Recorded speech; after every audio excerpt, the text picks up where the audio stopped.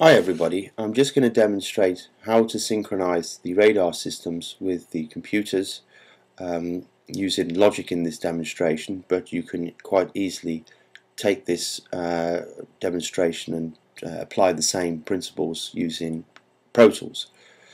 So I have logic booted here okay and in order to synchronize I need to go down to my transport bar find my synchronizer icon and click it click and hold and bring up my sync settings.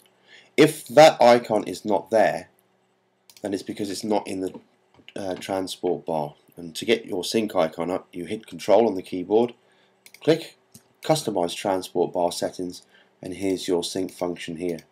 And you can see this icon disappearing and reappearing as I as I click. Next I need to click and hold, go to synchronizer settings, and I get this window here. And there's three functions we need to look at. The sync mode, the frame rate, and the offset. So firstly the sync mode. Uh, this one's defaulted to MTC, which means MIDI timecode. It gives you three options, internal, MTC, and manual. Now, um, internal, the radar system defaults to internal, which means that it's the radar system producing the timecode. Logic or Pro Tools should be set uh, to receive MTC, MIDI timecode. So radar is the master, your sequencer is the slave. and should be set to MTC. Now, um, I'm not in the studios right now, so I'm not too sure what the default frame rate is for the radar system, but I believe it's 25. But you can check this by looking at the uh, radar monitor, computer monitor, and looking in the top right-hand corner to see what the frame rate is. Whatever it is, it should match, your sequencer should match with the frame rate of the radar system.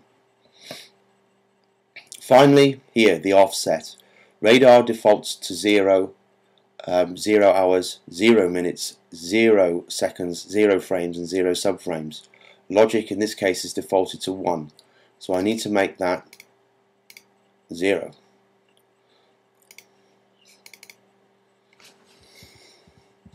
Type in a zero. There we go.